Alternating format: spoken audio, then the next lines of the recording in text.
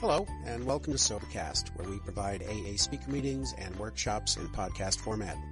We're an ad-free podcast, and if you enjoy listening, please help us be self-supporting by visiting Sobercast.com, look for the donate link, and drop a dollar or two into our virtual basket. We hope you enjoy the podcast. Have a great day. Uh, good evening, everybody. My name is Chris, and I am an alcoholic. Hi, Chris. Very, very grateful to be here tonight, and this is a this has been a, an incredibly interesting a commitment for me because it really is the first time I've been exposed to um, this draft of Bill's story. And uh, again, it predates uh, the edited version that ended up in uh, uh the original manuscript, and, and that predated the uh, uh, the version that ended up in the first printing, first edition of the Big Book. So it's I, I always believe it's interesting to go back to the earliest layer of any tradition. If, if you want to study religion, what, what you do the same thing. You go back to the earliest layer of tradition in that religion to really see what's going on. Because what happens is over the course of time, over the course of years, over the course of more and more literature being published, more and more layers of strata get put on top. And sometimes it's difficult to really get to the actual truth about what was going on during that period of time of miracles. And uh, the first first four years or so, five six years of Alcoholics Anonymous was a time of miracles. Uh, people who uh, had suffered utter destitution were being uh, were being raised up and reborn and uh, uh, became recovered alcoholics and were able to move on with their life. These were people that were pitiful, pathetic, uh, uh, drunks. They, they were, you know, there was, they were absolutely considered hopeless by anybody in medicine, you know, anywhere. So it was a time of miracles, and we're getting a we're getting a, a bird's eye view of that in this particular story. Um, now, before before we get going on that, I want to read uh, one, I want to read two sentences from the twelve and twelve. Um, this this comes from tradition nine. Why it's in tradition nine, I don't know. But it's, I think, one of the most important two sentences in this book, the 12 and 12. Unless each AA member follows to the best of his ability our suggested 12 steps to recovery, he almost certainly signs his own death warrant. His drunkenness and dissolution are not penalties inflicted by people in authority. They result from his personal disobedience to spiritual principles. If you relapse, it's because of your personal disobedience to spiritual principles. It is not usually because of the reason that you come up with, like, like she left me, or he left me, or I lost my job. No, it's because you have personally rejected spiritual principles. And that's that. You know, what, what we're going to see in the second half of Bill's story is how Bill recovered, how he became a recovered alcoholic. Many things were at work in the early days. He was exposed to a number of Oxford Group people, number one of which was Sam Shoemaker. But he was also exposed to Henrietta Seiberling and Ann Smith, who were also very, very advanced in the Oxford Group program. So he, he was basically being exposed to the spiritual principles that if we disobey, we're going to get drunk. He was being exposed to them. He was desperate enough to accept them in his life. And what happened was he recovered and decided to spend the rest of his life carrying the message of that discovery that spiritual principles will solve his alcohol problem. He decided that he would spend the rest of his life carrying that message. And we can, every single one of us in this room, uh, should be incredibly grateful that he did that. Because there were a lot of people that recovered from alcoholism around the same time as Bill Wilson who did not decide to do that. They said, thank you for this. I'm getting on with my affairs he decided that he was never going to work a day in his life again and just carry this message. And and you know what? He he did not live. Uh, he did not live a life of, with a lot of material possessions or a lot of money, but he lived a life with uh, with one hell of a lot of spiritual uh, spiritual gifts being being placed at his feet because he he did that. Now, again, the first half of Bill's story is what it was like and a little bit about what happened. The second half of his story is a little bit about what happened and what it's like today. It's about the recovery process. So let's look at this as uh, let's look at the line of demarcation where we stopped last week, and now we're going to pick up on what happened and how he recovered. Uh, remember that he was sitting there drinking himself to death. All right, he's in this tiny little room in a terrible apartment somewhere in New York City, and he's drinking himself to death. He hasn't even tried to work in years. He knows he can't. All he can do is drink and keep that demon at bay one minute at a time. That, that alcoholic obsession, that compulsion to drink. So there he is, and all of a sudden his telephone rings. My music was interrupted by the telephone. The cheery voice of an old school friend asked if he might come over. He was sober. It was years since I could remember his coming to New York in that condition. I was amazed. This was one of Bill's drinking buddies. You know how we seek lower and lower companions as we sink lower and lower ourselves? you know, and we party with the people that party like us. This was one of those guys. He had been committed for alcoholic insanity. Back in the day, they could commit you. If you got a couple of signatures on a piece of paper, you could be committed away to the booby hatch. You go. You know, you could, and, and this guy was actually committed for uh, insanity. So rumor had it. I wondered how he had escaped Escaped what? The hatch. Of course, he would have dinner. Uh, then I would, then, then I could drink openly with him. Unmindful of his welfare, I thought only of recapturing the spirit of other days. There was that time we had completed an air, uh, uh, chartered an airplane to complete a jag.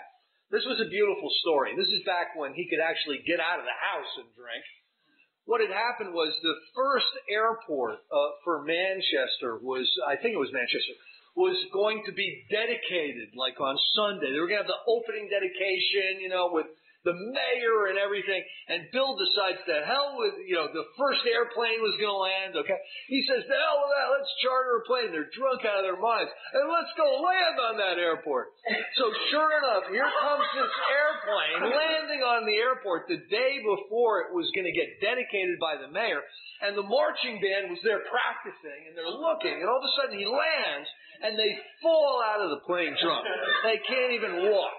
You know, this is the, this is the type of stuff he would do with his buddy Ebby, who is uh, who is who we're talking about. Another glass stirred my fancy. His coming was an oasis in this dreary desert of futility. The very thing, an oasis. Drinkers are like that. The door open. You know, I was drinking myself to death back in the mid '80s. I was I was at my mother's house just because she wouldn't throw me out, and I couldn't I couldn't leave the house and drink. I'd get arrested. So I would just buy bottles and drink. You know, the, a shivering denizen of you know my the second story of my mother's house, and I just sit there and drink. And every once in a while, an old friend would call up and say, "I'm coming over," and I'd be like, "Yeah, you know how cool." Uh, they'd never come over again, I could tell you, because because because I drank I drank like it was my job. You know, and, and they're they're just like, oh my god, this guy's drunk out of his mind, and uh, so they would never come back. But every once every once in a while that would happen. So I know how he feels. He stood there, fresh skinned and glowing. There was something about his eyes. He was inexplicably different. You ever seen the lights go on in, in like a newcomer who's maybe gone through the steps or all of a sudden they get it? All of a sudden the lights come on upstairs. You know, that's an awakening. That's a spiritual experience. And he saw Ebby like he'd never seen him before. This guy, this guy was, listen, I went back to my boss to make amends about four years after I quit drinking. And he looked at me and he goes, Chris, you're a young guy. That's what he said. I looked, I looked ten years younger four years later because, because I, you know, I was healthy. And he could, he, he couldn't even believe I was the same person. You know, he knew I was, but he couldn't believe it. What happened? I pushed the drink across the table. Not now, he said. Disappointed but curious, I wondered had what, what had got into the fellow. He wasn't himself. Come, what's this all about? I queried. He looked straight at me. Simply but smilingly, he said, I got religion. This was the message of the early alcoholics back in the day when they were when they were working an Oxford Group program. If you look in the back there, uh, uh, one of the quotes one of the quotes from uh, from uh, William James is the only cure for uh, for inebriatism is religiosism. And, and, you know, that's what they thought at the turn of the century because the only hopeless alcoholics that were getting sober were the people that were engaging in these, these evangelical fellowships that just swoop you in and they're all, they were almost cult-like. You know, every single night they had something for you to do. And, and those were the only alcoholics that were getting sober. I was aghast. So that was it. Last summer, an alcoholic crackpot. Now I suspected a little cracked about religion but he had that starry-eyed look. The old boy, the old boy was on fire, all right, but bless his heart, let him rant. Besides, my gin would last longer, but he did no ranting. In quite a ma- in quite a matter of way, fact of way, he related how two men had appeared in court persuading the judge to suspend his commitment. What happened with that beat was, I'm not sure if I uh, talked about this last week or not, but what happened was he got sent off to his summer house up in Vermont because his family wanted nothing more. He embarrassed the hell out of his family. And this one day, he, he drunk, he drove his car into a kitchen of these people, okay? You know, and, and, and when they came downstairs, like, oh my God, there's a car in the kitchen. He, he rolled his window down and said, hey, you got any coffee? you know, he was very unconcerned that his Pontiac was in their kitchen. You know, so the judge, the judge was upset. But the second thing that happened was he was painting the house. Pigeons were landing on the house, and he was he had a resentment against those pigeons. So he took out his shotgun and started blowing the pigeons off the side of the house with his shotgun.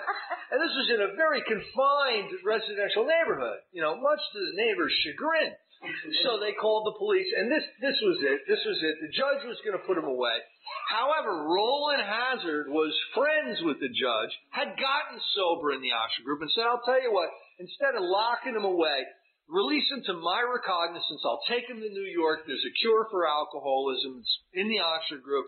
I'll get him away from here. And the judge said, okay, I won't lock him up, but I never want to see this guy again. Get him out of here.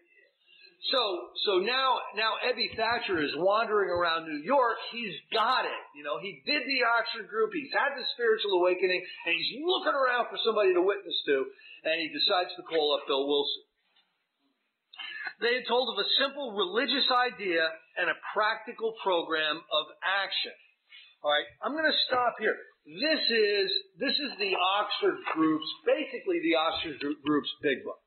This is one of the pieces of literature that was very, very important to the early alcoholics prior to the writing of the book Alcoholics Anonymous. It was called What is the Oxford Group? And it was handed out to people joining the Oxford Group so they could understand what the hell the Oxford Group was. And it was written by uh, the layman with a notebook. So he wanted to remain anonymous. Maybe this was where they got the idea to remain anonymous with the big book. All I'm going to do is read the contents section of this. And ask yourself, does this ring a bell as far as our 12 steps are concerned? Okay? Sin. That's, that's the first chapter. Sharing for confession and witness. Surrender. Restitution. Guidance. And then there's the four absolutes which the early uh, AAs used with their guidance. That anything that they were going to do, they put them up against absolutely absolute honesty, pure, purity, unselfishness, and love to see if it was a guided thought, if it was what they think they, they would think God would want them to do. Now, sin, that's basically what, what, what they considered sin was missing the mark. Okay, we can see that basically as step one. What are the causes and conditions of, of our failure at life? Why are we missing the mark? Why are we alcoholic? Sharing for confession and witness, that can be, that can basically be the fifth step. Surrender, that can basically be the second and the third step. Restitution, that can be the eighth and the ninth step. Guidance can be the tenth and the eleventh step. So this was the this was an early picture of the architecture of a recovery process in the Oxford Group. This is what he explained to Bill Wilson over that kitchen table. Um, that was the religious idea and a practical program of action. That was, that was months ago and the result was self-evident. It worked. He had come to pass his experience along to me if I cared to have it. I was shocked but interested. Certainly I was interested. I had to be for I was hopeless. He talked for hours. Childhood memories rose before me. The sound of the preacher's voice which one could hear on still Sundays way over there on the hillside, that pro-offered temperance pledge I never signed, my grandfather's good-natured contempt of some church folk and their doings, his insistence that the, insistence that the spheres really had their music, his denial of the preacher's right to tell him how he must listen, his fearlessness as he spoke of these things just before he died, such, such recollections welled up from the past. They made me swallow hard. That wartime day in old Winchester Cathedral came back to me. He was being exposed in his alcoholic destitution. He was being exposed to religious and spiritual principles once again. But there was something about Ebby that got him to listen. Ebby wasn't drinking anymore. He was a changed person. He was probably going to survive. And Bill even thought that Ebby was a worse drinker than he was. In a power greater than myself, I had always believed. I had often pondered these things. I was not an atheist. Few people really are, for that means blind faith in an illogical proposition that this universe originated in a cipher and aimlessly rushes nowhere. My intellectual heroes, the chemists, the astronomers, even the evolutionists, suggested vast laws and forces at work. If you study these early scientific people that were that were coming uh, of age during this period of time, you'll see that most of them had a belief in God. Uh, science and religion have have done this over the years. They've come together, they've gone apart. They've come together, they've gone apart. Right now, we're in a period of time where cosmologists and physicists, some of the top level people, are are coming back together with the with with the idea of God. Some of these people have come to the conclusion that existence, as it is now, from the Big Bang to us sitting here in this room, could not have happened by just mere physical coincidence. There had to be an idea involved, a divine intelligence of one form or another. And these are top level physicists. So back in the day, some of his heroes, even even Darwin believed in God. And and you know, people use Darwin's work to say there is no God, but Darwin was a believer. You know, so so a lot of his intellectual heroes believed in God, but they didn't believe in the religious type of God. They believed in uh, in divine intelligence. They, they believed in uh, uh, uh cr- uh, creationism, or uh, you know, as as some people believe today. Despite contraindications, I had little doubt that a might, purpose, and rhythm underlay all. How could there be so much precise and immutable law and no intelligence. I simply had to believe in a spirit of the universe, which knew neither time nor limitation. But that was as far as I had gone. With preachers and the world's religions, I parted right there. When they talked of a God personal to, to me, who was love, superhuman strength, and direction, I became irritated and my mind snapped shut against such a theory. How many people in here have had prejudice against organized religion or people in organized religion. Uh, let the record show half the hands of all 275 people here tonight have had such prejudices, okay? Now, Bill and Dr. Bob were two different kinds of people. Dr. Bob went back to church and you could find him in the same pew every single day till the day he died. He went right back in and journed up. Okay. Bill had a hard time joining up. He took instruction from a Catholic priest. He took, instruction from an Episcopal minister. He took instruction from a lot of people and came this close to joining the Catholic Church and balked. For the rest of his life, he had issues with organized religion. This did not stop him from recovering.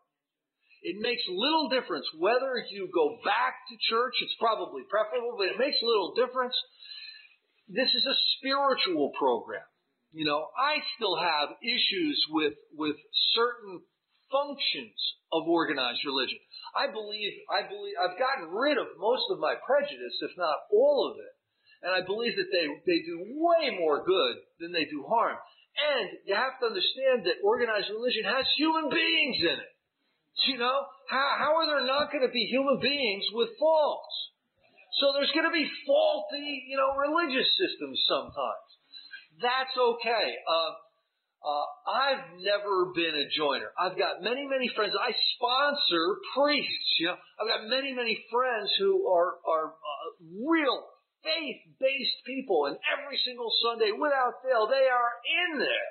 You know, and that's absolutely wonderful. But there are some people who, who, who still can't really make that leap into religion. However, that does not mean they're not really, really spiritual. And it's the spiritual principles that are going to keep us sober. Of Christ I conceded the certainty of a great man, not too much followed by those who claimed him. His moral teaching most excellent, I had adopted those parts which seemed convenient and not too difficult. The rest I disregarded. This is this is so me. You know, I mean, uh, you know, I read the Bible when I was drinking, and yet, you know, I mean, I, I was I was looking for answers because there was a hole in me. There was a spiritual vacuum in me, and I was trying to find something that'll give me some comfort. And I recognized the teaching of Jesus was completely alien to most religions. You know, if, if, if the, if the religions would actually do what Jesus told them to do, they wouldn't be able to have churches, you know. And I, you know, I had a lot of contradictions, uh, and a lot of issues with, with all of this. So I relate to this guy. The wars which had been fought, the burnings and chicanery that religious dispute had facilitated made me sick. What are most, most wars based on?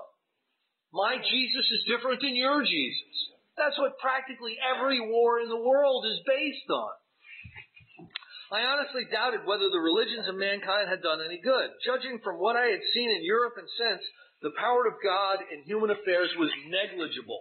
The brotherhood of man a grim jest. If there was a devil, he seemed boss universal, and he certainly had it.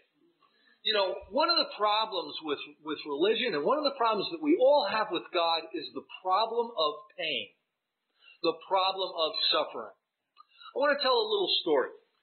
A bunch of Jewish people would have uh, Jewish services in one of the concentration camps in Germany. And this is while, while millions of them are being decimated and murdered.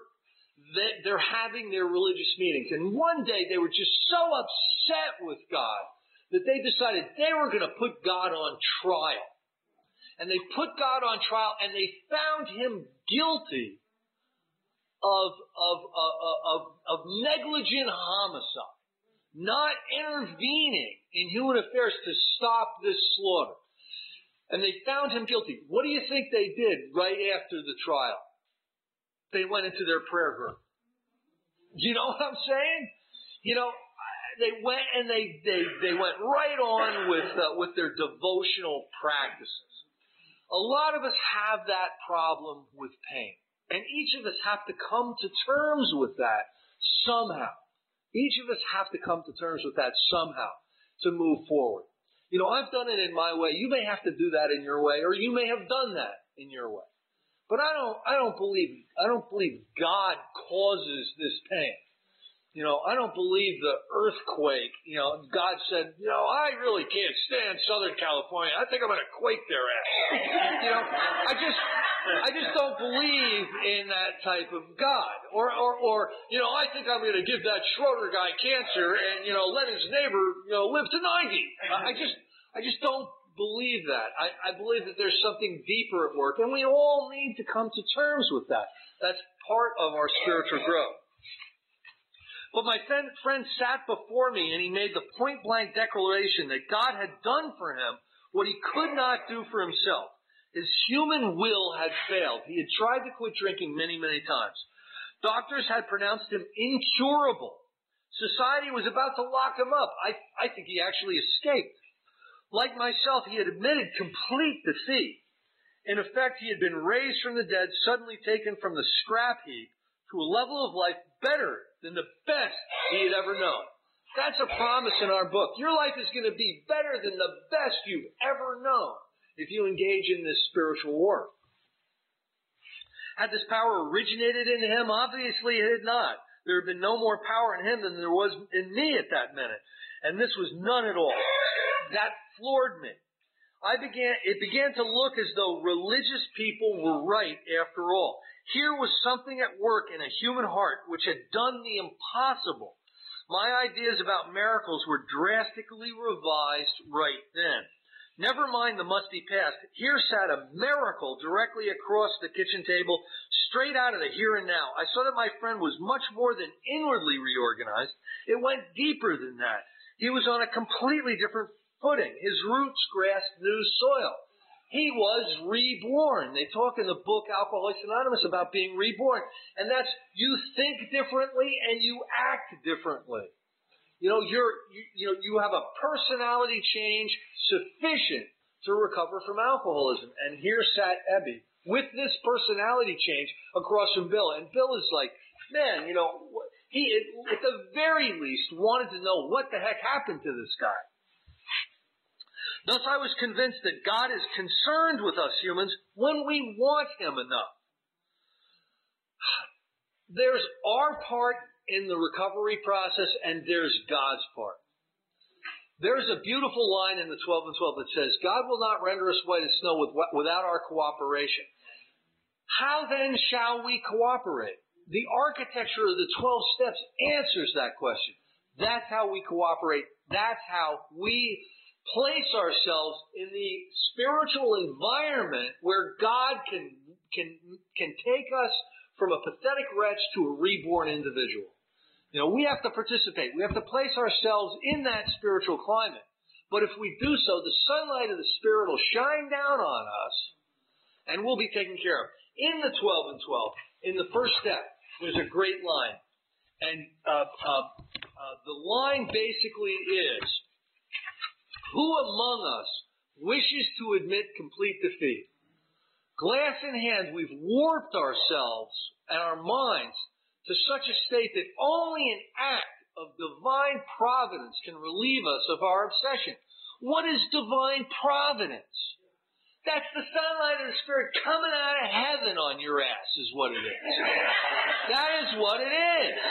Okay? The craziest thing I ever see is when I see a big book in the self-help section. This isn't a self-help program. This is a divine help program. And all we need to do is rightly relate ourselves and practice spiritual principles. That places us in the spiritual climate where God can do God's work. There are certain things that God can do. And there's certain things that He cannot or, or will not. So we need to find out what, what's going to work, and we, then we need to grab onto it. Like the drowning sees a life, life preserver. At long last I saw, I felt, I believed. Scales of pride and prejudice fell from my eyes. A new world came into view. The real significance of my experience in the cathedral burst upon me. For a brief moment, I had needed and wanted God. There was a humble willingness to have him with me, and he came. But soon the sense of his presence had been blotted out by worldly clamors, mostly within myself. So it had been ever since. It was simple as that. How blind I had been. He touched the divine. As alcoholics, we all want to experience oneness with the divine. That's why we drink. That's why we do heroin. That's why we do crack. We want to feel a touch of the divine. You know, he felt a little bit of it in the Winchester Cathedral, but he didn't do anything. He walked out of that church and he went about his life and he started shooting Germans and whatever else he did. And, you know, it just got blotted out by the worldly clamors. At the hospital, I was separated from king alcohol for the last time. Treatment seemed wise then, for I showed signs of delirium when I stopped drinking. Anybody in here ever experienced delirium tremens? Ho, ho, ho! Those are not fun, are they? Oh, whoa! That is, that is utter destitution. That is pitiful and incomprehensible demoralization. That is the hideous four horsemen riding over your head. Terror, frustration, bewilderment, despair, panic, fear, terror. That's what the delirium tremens are. And you, you know, listen, if you do go, if you do leave this room and ever drink again and experience those delirium tremens, you need medical attention. You need medical, because you, here's the statistic. 15% of alcoholics get to a point where they suffer delirium tremens. It's the low part, the low bottom alcoholics experience delirium tremens. And 15% of the time you have a delirium tremens, you die from it. So, so important warning sign. Okay. So right here in the hospital, now I want to explain this very, very clearly. These steps, which were the Oxford group processes, were taken on the hospital bed while he was detoxing. If somebody comes up to you and says, oh man, you know, you shouldn't do that fourth step until you have four years, Move as fast as you can away from an individual like that. That's not how they work this. They work this fast and furious, okay? That's how they did it back in the day. Yes, there's no time limit on all this, but if you'll see, these steps were taken while he was still on his detox bed, all except for 9 and 12. There I humbly offered myself to God, as I then understood him, to do with me as he would. Sounds a little like the third step prayer, doesn't it? I placed myself unreservedly under his care and direction. I admitted for the first time that of myself I was nothing, that without him I was lost. Sounds a little like our first step, doesn't it? A first step admission of defeat. I ruthlessly faced my sins of, of omission and commission and became willing to have my newfound friend take them away root and branch. That really sounds like step four through step seven, doesn't it? My schoolmate visited me and I fully acquainted him with my problems and deficiencies. That sounds a bit like step five. We made a list of people I had hurt or toward whom I felt resentment. Sounds a little like eight. I expressed my entire willingness to approach these individuals, admitting my wrong. Never was I to be critical of them. I was to right all such matters to the utmost of my ability. Little like step nine, doesn't it? I was to test my thinking by the new God consciousness within. Common sense would thus become uncommon sense. I was to sit quietly when in doubt, asking only for direction and strength to meet my problems and see who would have me.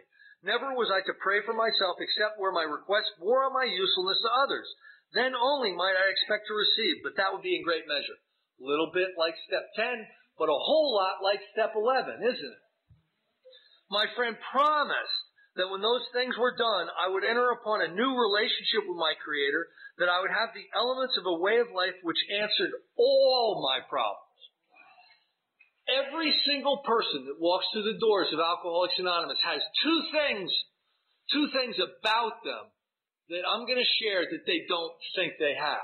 They're not going to believe. Number one is that they're in way more trouble than they think they are. Every single time. They are minimizing like a bitch. Okay? The second thing is, is they're not giving the processes of Alcoholics Anonymous enough credit. Because the processes of Alcoholics Anonymous, they may think, well, maybe I'll be able to quit drinking. How about maybe you'll have, not only that, but you'll have a better life than anything you could have imagined prior to walking through the doors of AA. You know, nobody walking through the doors of AA is thinking that. Belief in the power of God plus enough willingness, honesty, and humility to establish and maintain the new order of things were the essential requirements. These are essential requirements for recovery. If you don't have these in your life and you drink again, do not blame Alcoholics Anonymous. Do not wander around the bar saying, I went to A and A and it didn't work for me. Okay? We don't need the black eye. Okay? We don't need the black eye. Uh, if you don't do these things, you don't practice the recovery process. Do not be fooled by people that try to lock you into fellowship based sobriety. That is short-changing you. There's more available. There's more available. There's three types of drinkers usually in the bar. 30% of them are sitting there drinking and they're just, they're crying in their beer. They're, they're like, oh, Okay, 30% of the people are wandering around trying to pick people up. They get real amorous, you know, and they're like hitting and hustling. But 30%, but 30% of those people want more out of alcohol. So they're running around trying to get cocaine or they're running into the city or, you know, they're just, I want, you know, I want to go, I want to go to Manhattan, you know, and, you know, and they're running around, let's do this, let's do that because they want more out of alcohol. That's how we're supposed to approach this program of recovery. I want more than sobriety. I want recovery. You know, be one of those people. Because you can go to, you can go to the ocean with a thimble or you can go to the ocean with a bathtub. It's gonna get filled. You might as well go there with a bathtub. You know what I'm saying? Uh, simple but not easy. A price had to be paid. It really meant the obliteration of self. I had to quit playing God. This is all third step stuff. I must turn in all things to the Father of light who presides over us all. This is the guidance piece of the 11th step. If you want to learn about how they did the 11th step, there's some great material in the back. One of the great pamphlets, I don't know if we have one here, is How to Listen to God. John, do we have that here? The, uh, How to Listen to God. I don't remember who, who wrote it, way back in the Oxford Group days. We have the book from the English, but How to Listen to God is on the Okay. All right. Um, these were he didn't actually write it. He he he you know he yeah he uh, he resurrected it out of the archives of uh, the Oxford. Group. But it's wonderful. It shows how these AAs, these early alcoholics, sat and listened to God. How they went into meditation, into like a guided prayer, and then a, a meditation seeking that those intuitive thoughts uh, and actions that they should be taking, you know, trying to figure out what to do. And God spoke to them to their intuitive capacity. And they called that, they called that the, the fourth dimension, or the realm of the spirit, where you could actually pick up and listen to God. And sometimes the thoughts weren't from God. And so they put them up against the four absolutes. If the thoughts weren't honest, pure, un, unselfish, and loving, they didn't consider them coming from God. So you know, these were revolutionary and drastic proposals, but the moment I fully accepted them, the effect was electric. There was a sense of victory followed by such a peace and serenity I'd never known. Remember, he had a white light experience. He had a spiritual awakening like that. It talks about in the spiritual appendix, most of us have spiritual awakenings of the educational variety. Why did Bill have a quick one? He did the steps while he was detoxing. That's why he had a quick one. Why do we have a slow one? Because we don't do a fourth step till we got six months. That's why. There was utter confidence. I felt lifted up as though the, uh, the great clean wind of a mountaintop blew through and through. God comes to most men gradually, but his impact upon me was sudden and profound. For a moment I was alarmed and called my friend the doctor to ask if I was still sane. He listened in wonder as I talked. He finally shook his head saying, something has happened to you I don't understand, but you had better hang on to it. Anything is better than the way you were. He was dying.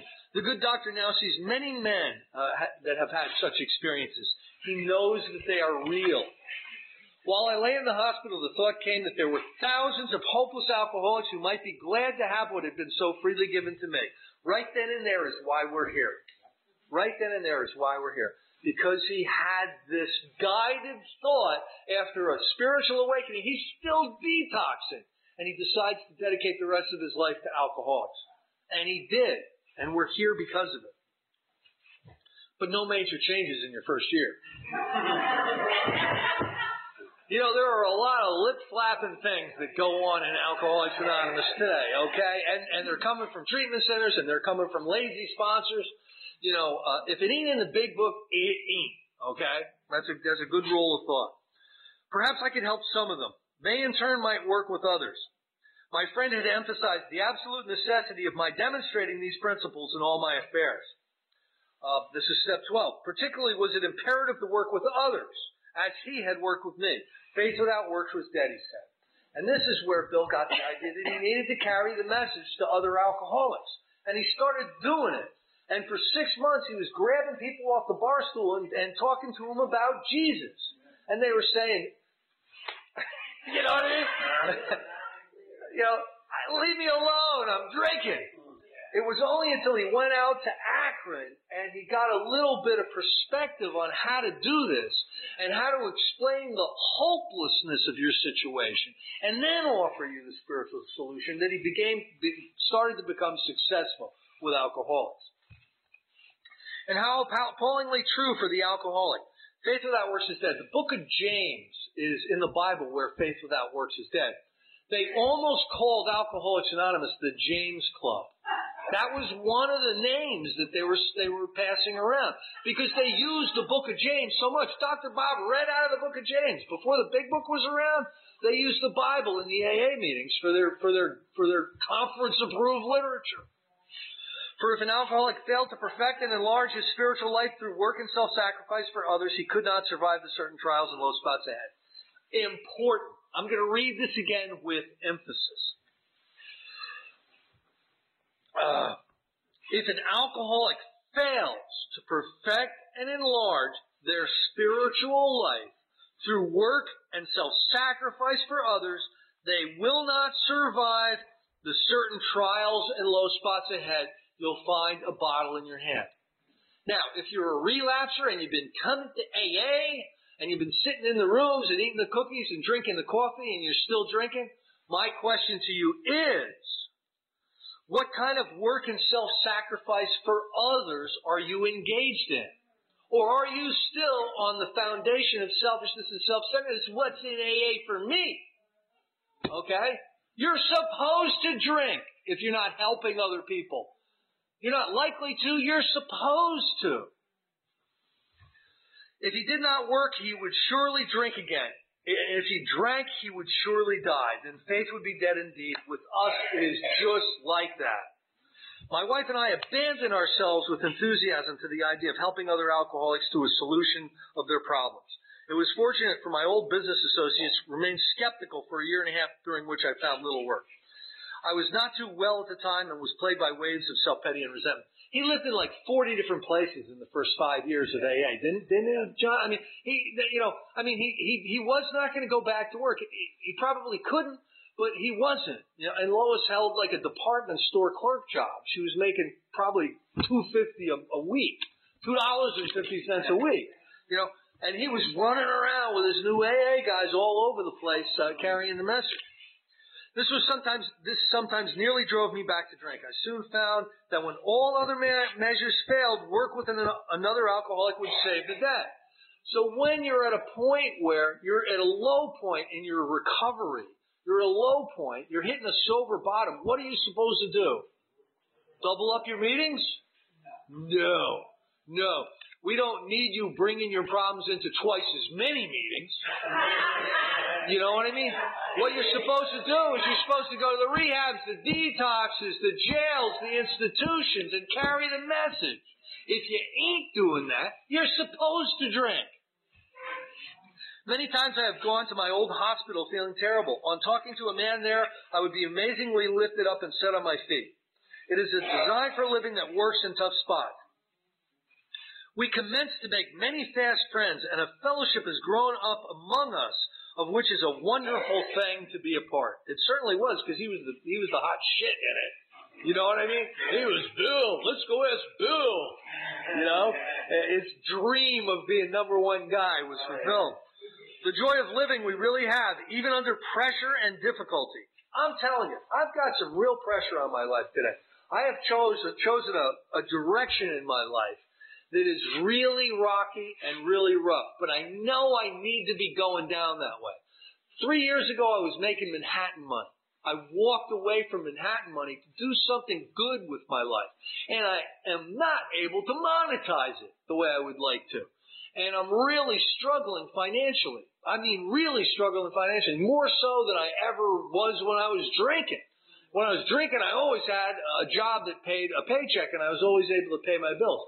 I am really struggling right now, but I know, I know I'm doing the right thing. And you know what? Even under pressure, pressure and difficulty, the joy of living is all over me. I am enjoying every minute on God's wonderful, beautiful, holy earth. I really am. And I'm enjoying every single moment with every single person I'm interacting with.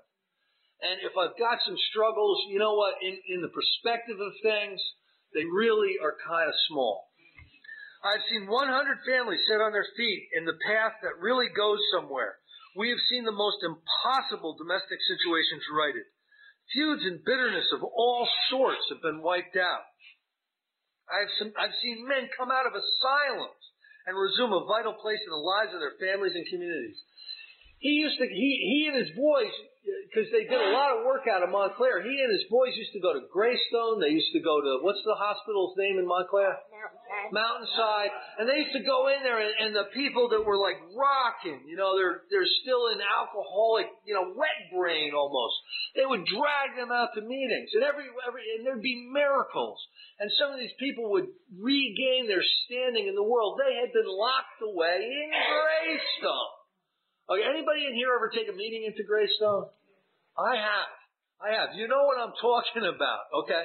They were going in there and they were bringing them out to meetings and some of them were recovering. This is um, this is a, this is something that you just you got to experience this. You know, you have to experience it, and this is what he was doing.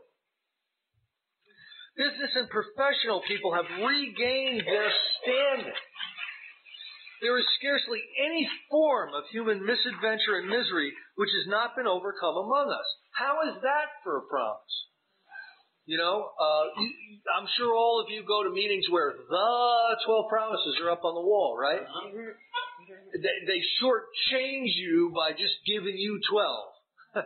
well, here's one right here. Any sort of human misadventure and misery can be overcome. Any sort. You know, this is amazing. In a western city and its environs, there are 60 of us in our families. This was Akron, slowly going out to Cleveland. We often meet informally at our homes so that newcomers may find what they seek. Okay, T. Henry and Clarace Williams had a big ass old house. And they just used to let the AAs just pile on in. You know, they were Christian people and they saw that God's work was being done. Why do you think we're in this basement right now? Why do you think the minister of this church said, uh, ten dollars a week? Uh, it costs us fifty just for the heat. Uh, okay. Why do you think? Why do you think we're in this basement? It's because they know God's work is is being done down here. They know, and they know some of us will trickle upstairs and become decent church members, and you know pay you know tithe a couple of grand a year. You know they, they know it. They, you know what I'm saying? They know we're we're that's where we are. We're in the church basements. Gatherings of 20 to 60 are common. We are growing in numbers and power. Little did he know. Uh, conservative estimates uh, are there's about 4 million, maybe 5 million sober AA members in the world today. There are gazillion groups. There there are emerging AA areas. You want to get in, you want to get involved in something really really exciting. Find a country and with the advent of Facebook and email and, you know, cheap airline travel, you can get involved with these countries. I'm, I'm involved, I sponsor people in eight different countries today. Okay? And there are, there are emerging AA areas that are waking up. They're about where we are in the 40s and 50s today. And they can use a little bit of help they can use a little bit of understanding. They're taking our literature, misunderstanding the shit out of it, and there's all kinds of problems that are going on in these different countries, and they, they need a little bit of mentorship. They need a little bit of communication with people who, who have got a lot of experience over here. It's really, really interesting out there. It really is. There are basically secular countries, secular ass countries most of them are atheists. And what's happening is Alcoholics Anonymous is sprouting and people are finding spirituality and they're finding a way to God. It's, it's, it's almost an, a missionary endeavor, you know, and you weasel your way in there through AA. It, it's just some really exciting stuff. Listen, your life depends upon being of service, of, of self-sacrifice to others. Your life depends on it. What I'm telling you is there's a lot of really interesting opportunities out there. There's a lot of really fun things that you can get involved with. Giving a newcomer your phone number at the door is not intensive work with other alcoholics. Intense, you know, because you ain't, you know they ain't gonna call you.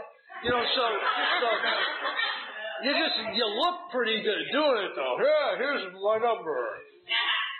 Intensive work with other alcoholics is what they're telling us we need to do. Work and self-sacrifice for others. If you fail to adhere to those spiritual principles, you will not find utter desolation from from uh, from people in authority. You're going to find it from not adhering to the spiritual principles. And the number one main spiritual principle is after you've had a spiritual awakening as a free gift from someone else and from God, you need to you need to carry that to somebody else. And there's a lot of opportunities out there.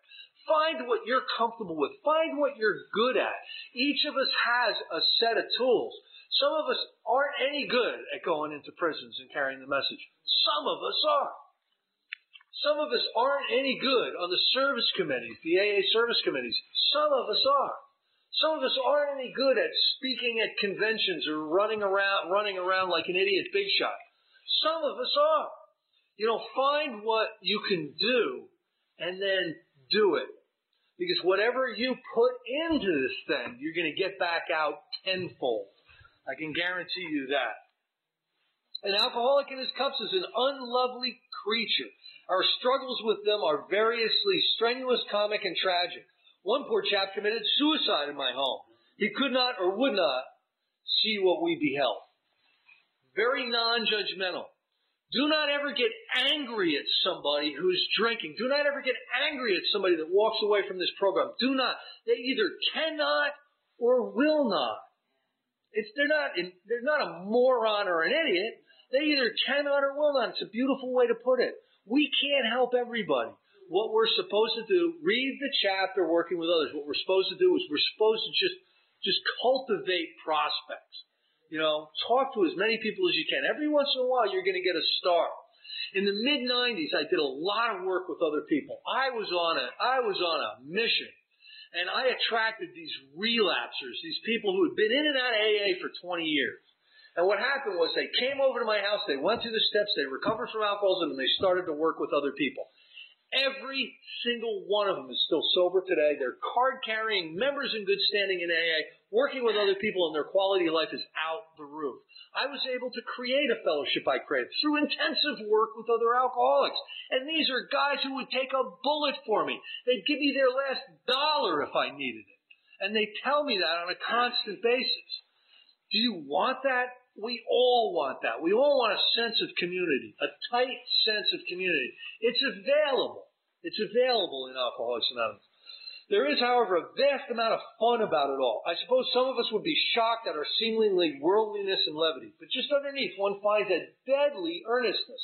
I hope that you find that in, in, in the way I speak. I, you know, I can be humorous at times, but I am deadly ass earnest. You know, this, this illness kills, and it kills in a horrible way. You would be better off with terminal cancer than with alcoholism. Cancer at least allows you the dignity of setting your affairs in order before you check out. When you check out as an alcoholic or drug addict, you are at the absolute bottom of your existence. People, people, the people that still have anything to do with you pity you or resent you, one or the other. Do you want to check out that way in disgrace? I don't. Uh, God has to work 24 hours a day in and through us, or we perish. Most of us feel we need look no further for utopia nor even for heaven. We have it with us on this good old earth, right here and now. Each day, that simple talk in my kitchen multiplies itself in a widening circle of peace on earth and goodwill to men.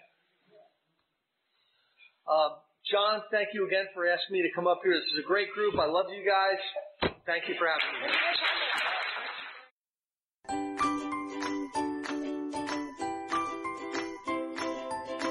Thanks for listening. I hope you enjoyed the podcast. Sobercast is ad free, and we'd like your help in order to keep it that way.